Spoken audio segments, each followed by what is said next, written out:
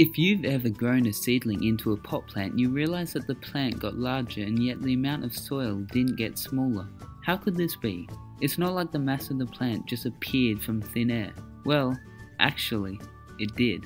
While plants use their roots to extract minerals from the soil, the main part of the plant's mass comes from the surrounding air. In a process known as photosynthesis, the plant takes carbon dioxide from the air and emits oxygen, all with the help of sunlight and water of course.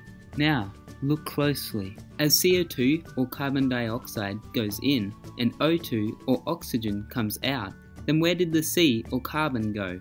You guessed it, into the plant itself.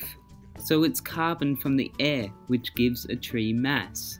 If you want more awesome science videos, subscribe today. Seriously guys, do it.